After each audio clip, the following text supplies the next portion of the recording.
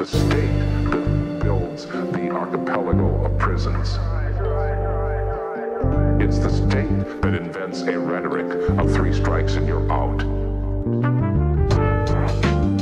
It's the state that invents a vocabulary that is soaked in crime, which is meant to describe the lives of young people.